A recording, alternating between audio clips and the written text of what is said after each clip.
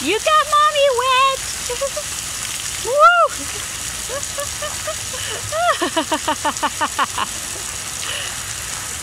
you got Mia wet. It's okay. They don't mind. They're playing with you. They're being very gracious and not minding.